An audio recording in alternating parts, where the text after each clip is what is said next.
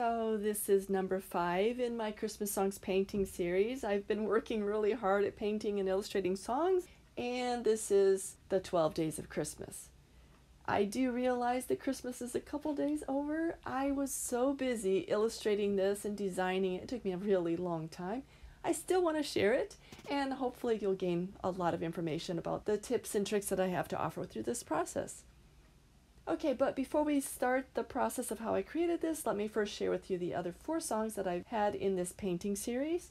They are Rudolph the Red-Nosed Reindeer, Silver Bells, We Wish You a Merry Christmas, and We Three Kings. And in all of these, I have painting tips and tricks, and some of them are full tutorials. Yeah, and I'm using different mediums.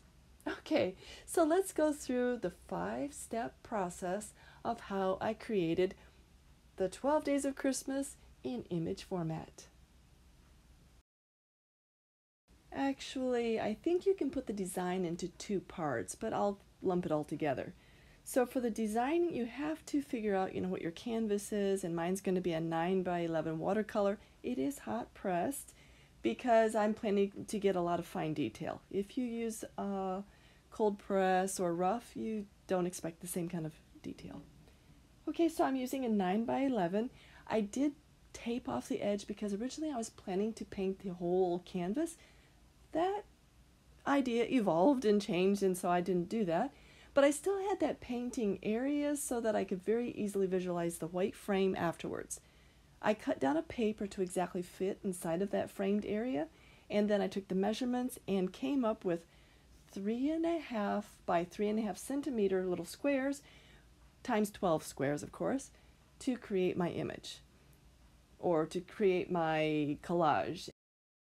And then after that, I could start choosing my images and figure out how I was going to illustrate each of those 12 days. So, right, 3.5 centimeters square with 1.5 inch margins around the edge. Okay, my 9 by 12 is designed as far as the layout is going to be. Now to choose my images. So I went to Pixabay and started browsing. And I wasn't browsing for all of the animals, but I was looking for some, for example, the peacock. I don't know well about the twist of the neck or the colors, and so I was looking for a specific shape or angle of the neck, and I found a couple pictures.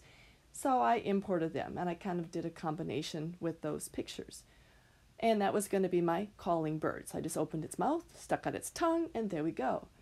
Then I needed to get some pheasants because I wanted to have three golden rings, and I just wanted, didn't want to draw rings like wedding rings or anything. So I thought I'd put them on a pheasant.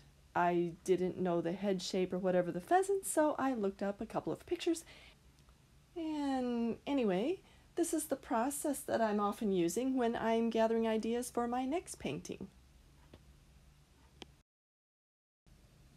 Now, jumping ahead to the transfer of the paper, I'm assuming, of course, that you have already designed all of your pictures, all 12.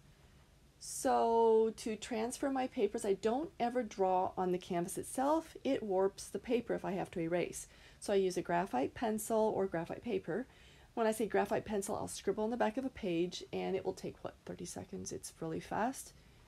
And then I transfer those images very carefully I do put a paper under all of the areas where I'm not actually transferring the image because any kind of a knuckle rub or maybe a brush or just the movement of your hand across of across that paper is going to leave smudges beneath and they are messy and really hard to deal with. Just avoid that. For me, when I'm painting, I have to have a color scheme. That means when I'm going to paint something, I have to approach it thinking about the colors I'm going to use. Am I going to use three colors? Are they going to be um, harmonious colors? Are they going to be on the opposite end of the color spectrum? How am I using these colors?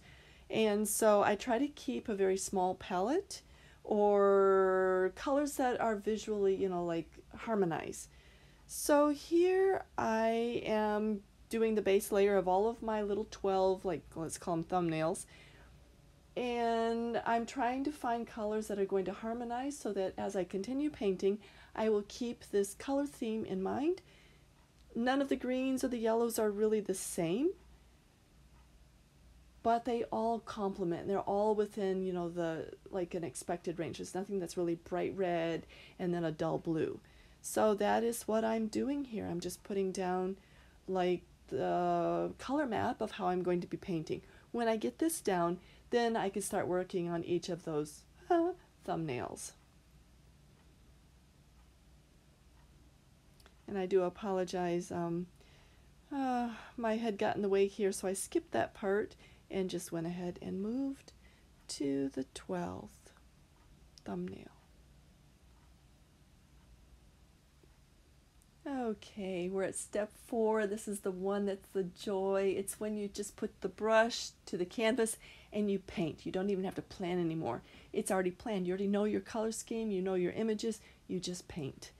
And you can see that I did a lot of manipulation with the backgrounds. I went over each of those backgrounds twice. I put down the first layer and then I smoothed it out. And I found that if I put a little bit of white paint in on some of them, I could get this really matte background, which was really cool. I loved it. I also have a couple of Turner watercolor paints, and I've, I don't really have a point to use them until now. I just like the color, that's why I bought them. But they lay down very matte, very opaque, and now I'm in the market for a set, a full set of watercolor gouache. I really would like to try them. I don't want the chalky ones. I want something that's pretty nice, but yeah, I'm really interested in getting that matte quality to put a watercolor on top. And just in some cases like this, some kind of uh, illustration style. Okay, here you can see that I am putting in some of the last touches on all 12. You didn't catch everything, but it's a good overview of what uh, this whole painting was about. Now for the step five, and this is the one that I really was having a learning process on.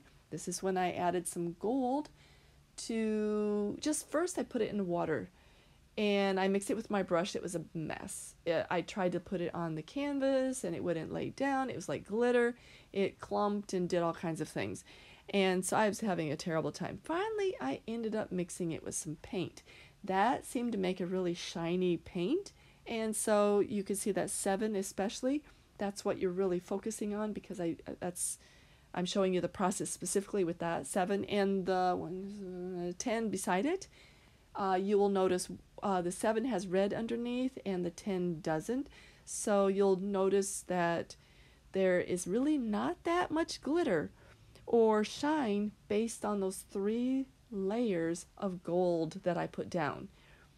The one, if you can look and see, I didn't have a base color underneath, and so that is the brightest, but it looked when I was painting it like it wasn't going on the paper.